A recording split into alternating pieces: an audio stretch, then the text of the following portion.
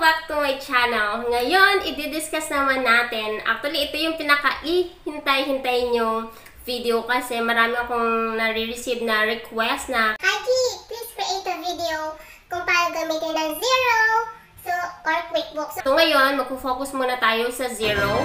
And then, dito sa video na to, di-discuss ko yung mga feature meron ng zero. Saan nyo makikita ang mga banks, ang mga invoices, ang mga bills, at saka yung mga reports na kailangan ng mga clients nyo. So kung gusto mo ang topic na to, please keep on watching until the end. Do not skip para wala kang ma-miss na tips and tricks na i-share ko throughout the video. So without further ado, Let's get started! let's get started!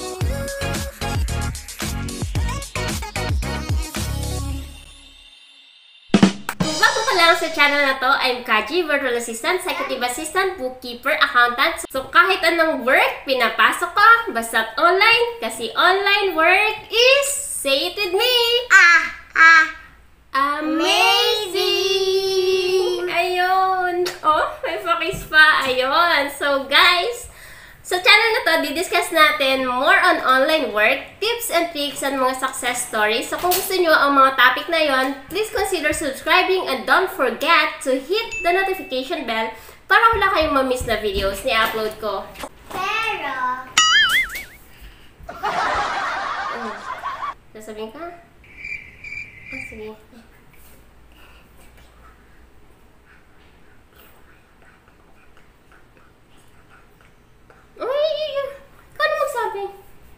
Okay guys, may sasabihin daw po si Ichigo.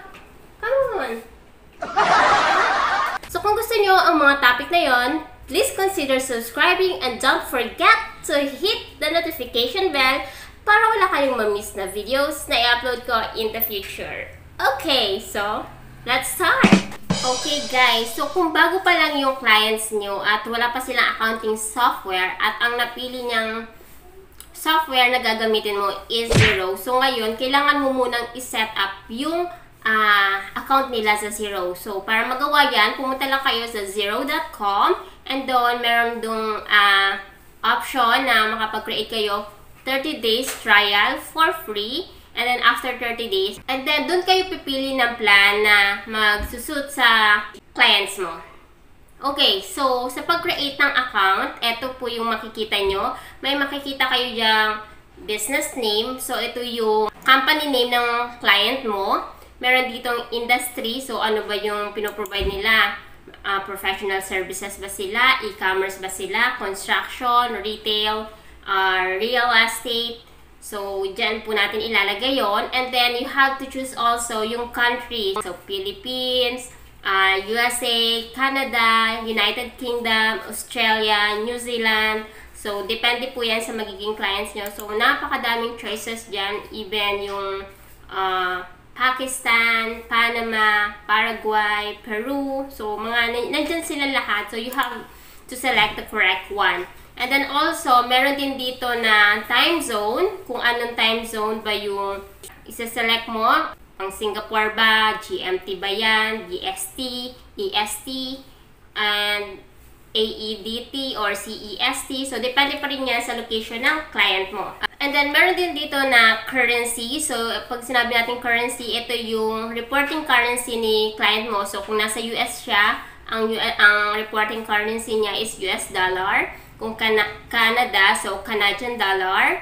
And then, kung Australia, Australian dollar. Pag New Zealand is New Zealand dollar.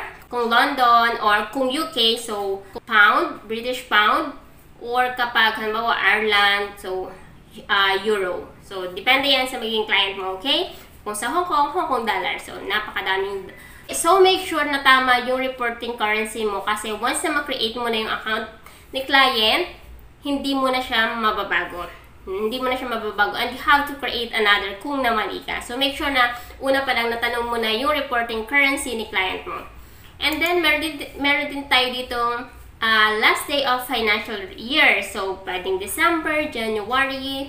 Depende yan sa maging client mo. Pero most of the clients, ang last day of financial year nila is December 31. So, yeah, make sure you have chosen the correct accounting period. And then, Siyempre, ilalagay mo din dyan, do you have employees? Yes or no, it's just me. So, for me, I will try to use no, it's just me because I don't have any employees. It's just me who's running the business. I have contractors but they are not considered as employee. So, ganun siya. And then you can now start the trial. Once na maka, ma-start mo na yung trial mo, magkakaroon ka na ng access to zero. So, inside the zero po, makikita po natin dyan yung on the left side ng screen nyo. Dito nyo makikita yung company ng hinahandle mo. So, kapag clinic mo yung arrow down, makikita mo dyan, andyan, change organization. Dyan mo makikita yung mga companies na hinahandle mo. So, meron demo company and the other company. So, you can also add a new organization. But, syempre, once mag-add ka ng new organization, that would be another cost sa'yo kung ikaw yung nagbabayad ng plan ng mga clients mo. Okay? Okay, so under the setting, makikita naman natin dyan yung organization's details niya, yung users. So, dito kayo makakapag-add and makakapag-remove ng users.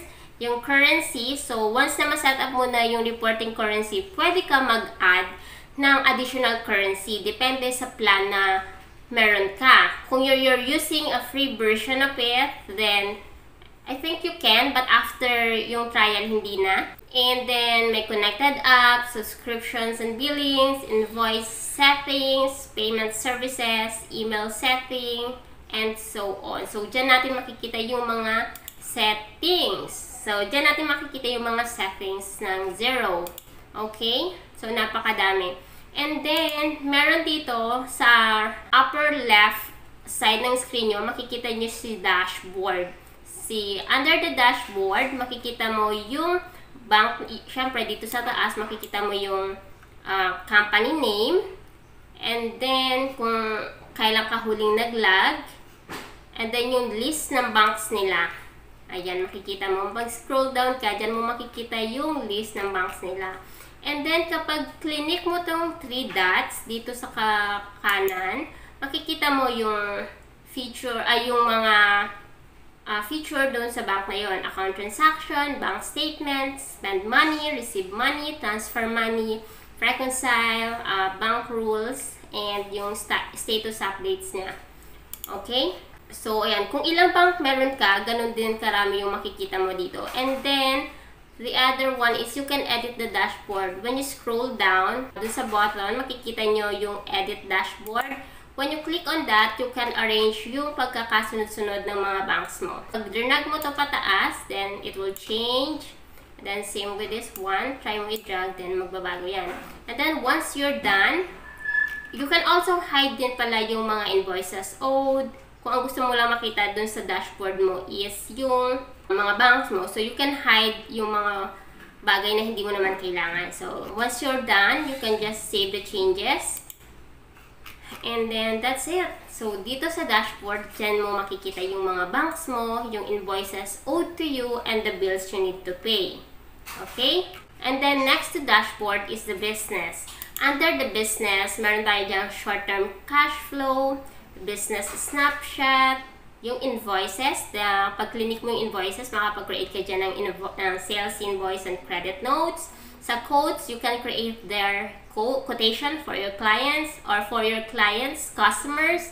And then, sa sales over, overview, makikita mo naman dyan yung uh, details ng mga sales mo. And then, we have also the bills to pay. There, you can create the expenses or the bills that your clients need to pay or already been paid but not yet created inside the Zero software. Okay? So, you can also create purchase order for your clients supplier, and then may purchase overview din tayo dyan. And then, dito sa products and services, meron, makikita natin dyan, or dyan tayo makakapag-create ng mga services na ino-offer ng clients mo or yung mga products na binibenta ni clients mo. Lalo na kung yung clients mo is uh, minomonitor nyo yung inventory items niya inside zero. So, this is very important kapag inventory yung may inventory na hinahandle yung clients mo. Okay? Next to business is the accounting. So, sa accounting, makikita natin dyan, aside from dashboard, makikita natin dyan si bank accounts. So, sa bank accounts, pag clinic mo yan, makikita mo dyan how to create the bank accounts and yung, yung list ng account ng bank accounts na meron ka. And then, meron kang reports. Sa kapag reports, dyan mo makikita yung mga different kinds of report from balance sheet, profit and loss, cash flow, accounts receivable details, aging payable details, and so on. Napakadaming reports dyan. So, you just have to use kung ano lang yung kailangan mo, okay? Dyan mo rin makikita yung mga general ledger, trial balance, so, andyan lahat sila. So, sa advanced settings, makikita mo dyan yung mga fixed asset ni clients, kung meron siyang fixed assets, yung financial settings, the chart of accounts, yung tax rates, lalo na kapag meron taxes si clients mo, yung tracking categories kung meron, and then yung conversion balances. So, pag sinabi natin conversion balances, ito yung, for example, this is not the first accounting year of your clients, then possible kung nag-switch siya from uh, Excel or from QuickBooks to zero, then dyan natin i-enter yung mga beginning balances niya from the prior year. So, dyan yun natin makikita. And then, sa dito may mga accounting reports din dyan. So, pwede kayong mag-star ng reports for your easy access. So, halimbawa, ang gusto mo lang makita dito sa accounting reports is yung balance sheet and yung income and statement. So, pwede yan. So, kung gusto mong i-delete si cash summary, si age receivable, si age payables, sales tax report, pwede mo yan tanggalin dyan. Okay, so sa advance, pwede ka ring mag-star ng mga gusto mong ma-access ng madali. So, dito, ang akin is chart of accounts kasi madalas kong ginagamit si charts of accounts lalo na kapag may new uh, category ako na gustong i-add na specific para dun sa, sa client na yon. Okay? And then, sa projects, makikita naman natin yung all projects. So, yung projects kasi is, kung may track na project si customer mo, lalo na kapag halimbawa sa construction company, so marami siyang project, and then gusto niyang i-track bawat expenses for each project. So, dito natin siya makikita. So, time entries, staff time overview, staff cost rate, so dyan natin makikita. The next project is the contacts. Sa contacts, dyan natin makikita yung all, meaning customers plus suppliers contact details. Diyan natin makikita. And, or yung customers only and the suppliers only. So, yun yun. And then, on the upper right ng screen nyo, makikita nyo yung plus icon. So, dyan, ito yung parang quick way to create invoice, yung bill, yung contact, yung code, purchase orders, spend money, receive money, and yung transfer money. So, ito yung easy way para ma-access nyo itong mga feature na to. So, next to it is the search button. So, the search button here, you can search for the customer, your suppliers, or even the amount transaction. Or, halimbawa is yung description ng bank statement or certain, kung ano mo i-search mo, once na i-click mo yan, makikita mo siya dito. And then, next to it is the notifications bell. So, dito makikita mo lahat ng notifications meron ka. And then, uh, halimbawa, na napakarami mo and gusto mong i-mark all as read, pwede naman. Okay? And then, dito sa next to the notification button is the uh, is question mark button meaning ito yung help uh, help section nila where you can search for articles, common questions about zero or uh, questions how to process a bill or uh, an invoice. So, dito nyo sila makikita kasi may help center C, zero. Okay? And next to that, this is the last one. This is your profile photo kung may photo ka. Pero sa akin is initials ko yung nandito. So, I have here yung uh, may yung may profile ko and yung account ko. So, sa under the profile, pwede mong i-edit yan and i-update yung information mo. You can update your name, your job title, a brief bio about yourself, your locations, and you can just hit save kapag done ka na. Okay? And then, meron din tayong account.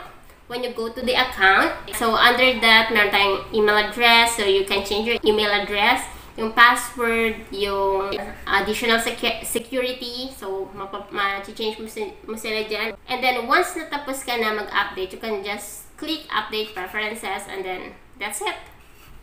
And that's basically the feature of Zero. So, this is just a walkthrough. Para meron kayong idea, oh, ano ba itsura ng zero, saan ba makikita ang report, saan makikita ang banks.